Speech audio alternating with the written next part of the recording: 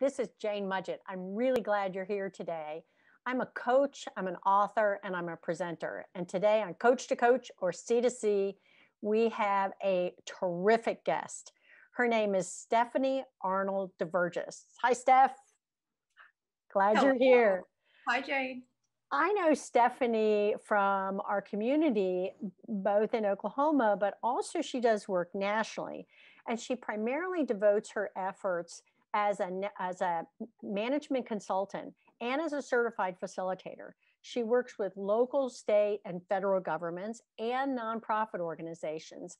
And she really helps them from a both qualitative end and her quantitative skills.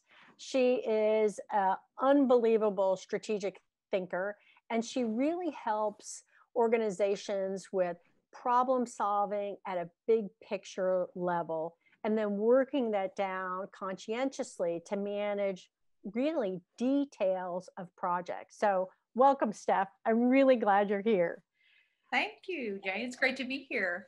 Well, today we're going to continue our discussion on leadership and what what makes for positive leaders. And one of the things that we've really been thinking about, rather than just textbook things, is what what does it mean to do our best work as a leader? And so we've had a little extra time this year because of the pandemic and and not driving as much and, and working from home to think a little bit, or I should say, at least have time to think a little bit more internally. And what we came up with was that that many leaders need to spend some time on self-reflection and being more self-aware. And once they invest that time, it helps them step up to more complex problem solving. Tell me what your thoughts are on how to step up so we can be our best work and do our best work and, and have that self-awareness okay thank you jane so we're making the assumption that everyone wants to do their best work or do okay. the most good which i think is reasonable i mean that's why right. people um, engage they seek out the work that they seek out um, and and like just like you said in order to do that it's so essential to bring your best self. And if we think about our lives today, we've had an opportunity in the last few months, probably like you said, to step back a little bit, maybe do a little bit more processing and a little bit more pondering and a little bit more upending conventional right. thinking. Right. And, um, and being more creative. And sometimes we're doing that alone and then we're, we're bringing that before others and working with other people. So, what I see and feel is most important is that just to be able to do our best work, we have to bring our best selves because we have to be able to receive input from others and value input from others. And so we need to be in, in the right place to be able to do that. If I come into a planning meeting or into any initiative and I am convinced that I'm the only one that might have the answers, or I'm convinced that um, things need to go only the way that I see them, then I'm missing an opportunity to bring about the best end product, whatever it is. And mm-hmm. so, um, when we talk about you know analyzing complex business processes or doing some real analysis of possible scenarios in our business we have to be open to both really positive scenarios and negative scenarios. Mm-hmm. And we have to be able to be in that complexity and stay keen and agile. Mm-hmm. And what we talk about a lot is that probably overused phrase self care. Yeah. Um, However, it is so very vital that we come to our work with a sense of self regulation and a, a, good sense of mm-hmm. balance. Mm-hmm. And especially right now, I would say it seems as though we are looking at new ways of solving problems, new ways of coming together. Um, we're coming together around tables mm-hmm. virtually. Mm-hmm. We're coming, mm-hmm. we're, we're, required to find new ways to engage. And that's really challenging because one of the best ways that we can understand, feel, and work with others is to be physically present with them. And we'll hopefully we'll get back to that. Right. right. But in the meantime, we know that we have a lot of complex problems. And I when you and I were speaking previously, I liked the way you talked about when something is complicated, you have something complicated to deal with, you can think of it that's usually something that's linear right that you might think of a solution in terms of linear and if you are working on something that's complex it's not just a linear path it's digging deeper into layers and so we know that right. there are a lot of things that require um, some difficult digging and right. some um, going through some difficult conversations. And if we haven't already done some work with ourselves, it can be really challenging to be able to bring our best selves to any project and work with others and to, in order to get the best results. Yeah. So you're asking how right. does a person pre- prepare? Right. And I think one of the best ways i kind of liken it to if you do strategic planning for an organization mm-hmm. take those same principles and apply it to yourself and the okay. first thing you do when you want to do any kind of planning is do an assessment okay. of where where are you personally are you emotionally regulated are you um, finding that you're easily triggered by things are you feeling burned out are you feeling like you're really struggling with different personalities in the workplace or um, problem solving people are entrenched in their views and you are as well and i think it's important just to be able to assess oneself and be really honest right. and know what some of your issues if you will are that you may be bringing from past work projects or past relationships or past difficult conversations or maybe the project you were on that never went quite as well mm-hmm. as you thought it should yeah. have. Yeah.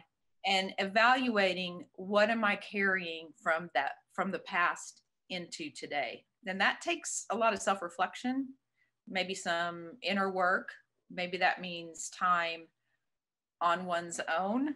Right um, and we you know hopefully we have a little bit more time like that right now mm-hmm. um, and for a lot of people that requires a certain opportunity to have some space and maybe a place that's meaningful for them to go within and do some work to think about what am i bringing from my past experiences into this current situation and how useful is it and i think one of the things that you mentioned is this preparation time is it, it reminded me of two things that have been advised to me over the years and it's it's the preparation of meeting materials is one thing but you're talking about preparation of self mm-hmm. and that may mean the day before of thinking about that meeting particularly if it's an important gathering of folks where you want to have a few efficient use of everyone's time and of words that you have some mental preparation then,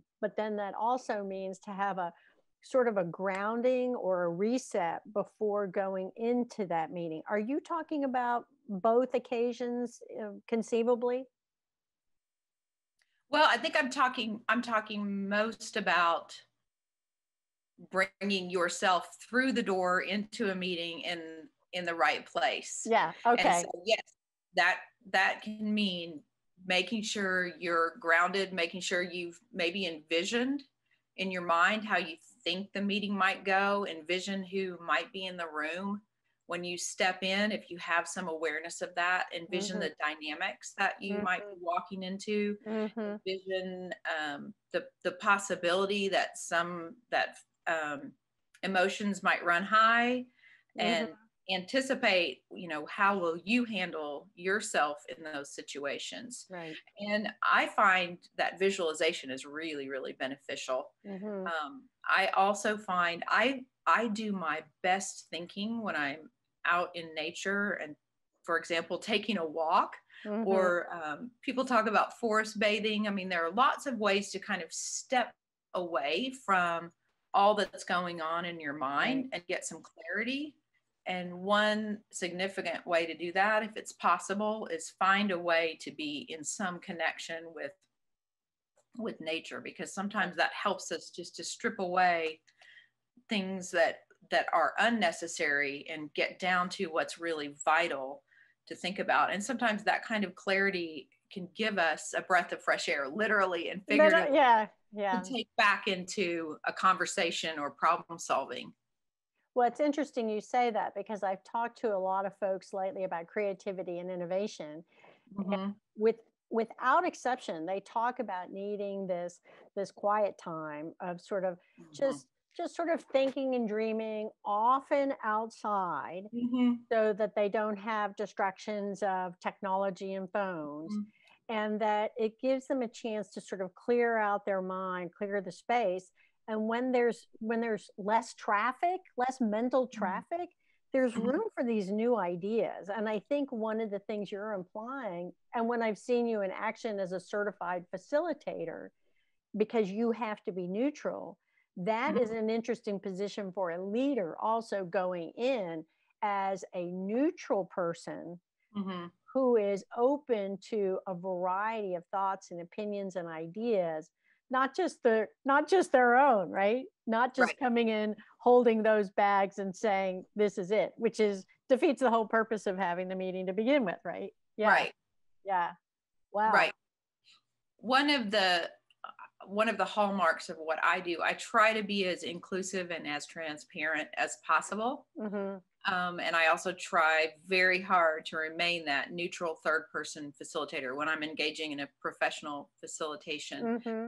And mm-hmm. yes, that can be that can be really challenging because of course I have, you know, understanding and opinions and emotions, but it's also so important. I think even if you're the leader in the room, that you're the CEO, it's important to recognize that you have the people around you for a reason and if they're they're worth being on your team they're also worth listening to right. and that's something that i just again think you have to be at your best self. And it doesn't mean when i say stepping away and clearing your head if you could go float on a kayak that's great.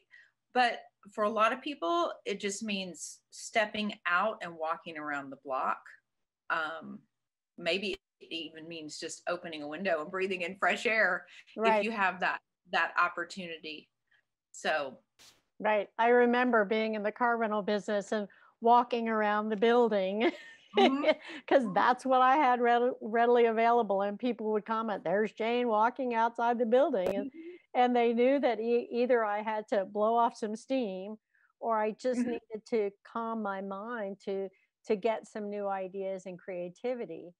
Well, right. how can we use this if we bring our best selves into work and we really try to do our best work?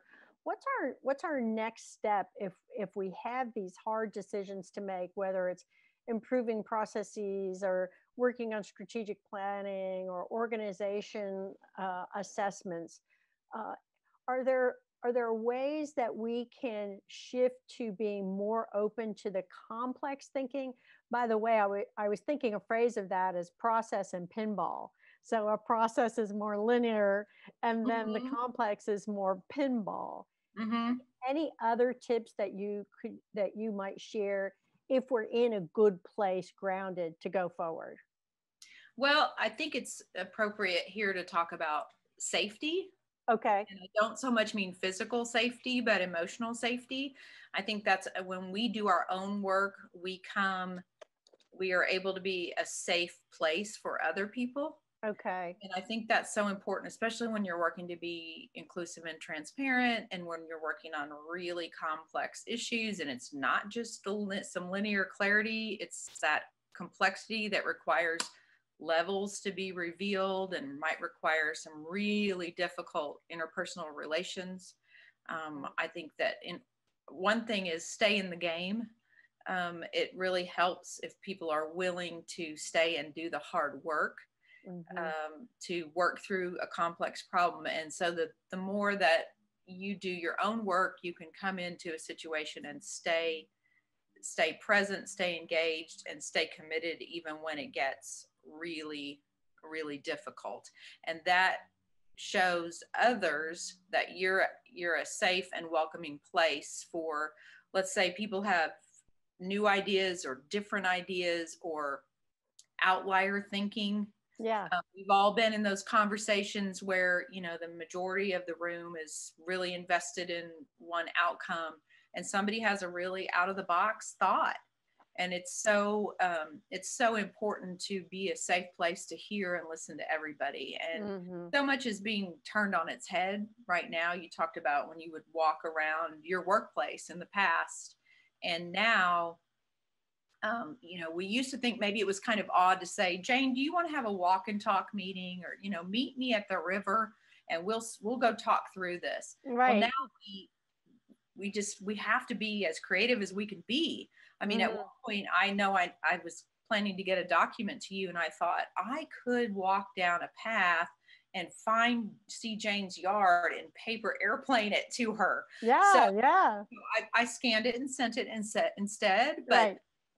You, you know we just really need to be open but that takes so much work and it takes um, it takes a presence that's kind of unconventional and mm-hmm. that unconventional requires us to be safe and um, be safe ourselves to right. feel safe in order to contribute but also to be a safe place be able to make a safe place for others mm-hmm. Well what i'd like to do is take a little bit of a turn mm-hmm. uh, mm-hmm. and that is one of the things you're implying is creating a culture of an organization that is the safe place where where we can where we know we're in a trusting world or trusting space mm-hmm. um, if for some reason the organization does not have that culture a lot of people push back and say we can't do this here and what i'm picking up from you and tell me if i'm wrong but we can establish a culture within the meeting itself so mm-hmm. whether we're the leader or on the team, mm-hmm. we can develop our own little culture so that, I mean, one of the things that uh, I remember very distinctly at an organization where I worked is new ideas were sort of like mistakes. You know, they just mm-hmm. weren't um, uh, they weren't rewarded. They were pushed off to the side because it mm-hmm. required us to think think away from our norm. So the culture in that meeting can be one where, wow, new ideas are welcome and solicited, even if they mm-hmm. may seem wild. That outlier you referred to. So right. Can, can we have a meeting culture which is different than the company culture? Abs- absolutely. I mean, that often depends on who's leading or facilitating or chairing a meeting, but you can absolutely set that culture. If you can't do it organizationally, you can do it within specific conversations. And when you were mentioning that, my first thought was we, we've all heard about the studies in manufacturing or um, the uh, studies in the oil field about safety. Oh, yeah, yeah. very vital. Um, and I'm talking about safety like OSHA related in terms right. of on the job bodies. And right. if people don't have this, the, the emotional safety of trust with their colleagues, they won't bring up a concern because right. they're not sure. And then something happens. So the more that you can you can have a relationship. I mean, I always say everything boils down to communication and relationships. Right. If we can offer the relationships with one another that bring about a lot of trust, we're going to feel safer figuratively, be safer literally and we're going to be more creative and then the end product is going to be better so absolutely there are things that you can do when you when you simply have a meeting within your division or your group you can set norms for that meeting or right. you, know, you, can call them the, these are the boundaries for our conversation or the, the rules of engagement or you know, I work with groups and we've called them the rules of friendship. And it's, you know, don't interrupt people, put your phone away, but also um, be open to new ideas. Let's let's let everything flow and be a safe place. Right. And then take the time to work through it. But that's, you know, we're all about efficiency. Let's get things done. Let's work fast. And we have the motivation sometimes of time and urgency, and that can fly in the face of right. relationships and communication and safety. So it does take a concerted effort, and it would take a few minutes at the beginning of a meeting to say, how do we want to talk to each other today? How do we want to allow each other? How do, how do we want to engage? And and that can be everything from making sure we're going to hear from everybody around the table not just the most dominant right voices but find out you know what is judith thinking she's always so quiet well she's she also has so much to offer even if right. she's not the one that always comes first with an idea so right. It's really important to draw people out but i also think you can you can do that in the beginning of a meeting or conversation and make that part of your agenda that we're going right. to we're going to decide decide how we want to talk to each other. Yeah. So how i understand what you're saying and to recap is a couple of things. So we could send out some meeting guidelines in advance or at least a draft so that folks know mm-hmm. in advance that we're going to mention that Mm-hmm. When we get to the meeting, we can review those again so we know what these rules of engagement are. So, just in general, that we're developing a culture, this environment of trust within this mm-hmm. meeting itself, in addition to the agenda and the goals of the meeting. Mm-hmm. But as a point of preparation, if we are the leader or a leader slash facilitator, then we may need to spend some time right before that meeting making sure that we are grounded that we are self-aware that we are self-regulated and and are open to all of these ideas even if it means that we may have to ask someone to stand down a little bit and to ask others to contribute just based on their nature so mm-hmm. uh, I, I think that what i really really hit home steph is that this idea that you can control the culture of a meeting mm-hmm. and how you can do that by personally becoming more self-aware as a leader any right. any final pearls you want to add before we wrap up well, I would just summarize by saying I think, Jane, you can control the culture of any engagement simply by controlling you and, mm. and showing up as your very best self and having that ability to approach a person with an open mind with you know being emotionally centered and regulated and being ready to engage in a, right. in a safe way so right. you whether it's even one-on-one or a big group conversation absolutely if you go inward and do do some work to prepare yourself you can change that conversation you can change your community and eventually you can change the world. But it takes a lot of work. And it takes one person from within. And i so appreciate you steph stephanie arnold de Verges for sharing that with me because my the light that came on for me is i do quite a bit of that before public speaking. Mm-hmm but I don't necessarily do that on one-on-one engagements and in group engagements. And, and that's the light mm-hmm. bulb that went off for me. So thank you so right. much for sharing your time and expertise. And I really look forward to more discussions. And we now know it may be along the walking trail. So that's thanks right. For be, thanks for that's being here today. Thank you. Bye bye. Take care. Bye.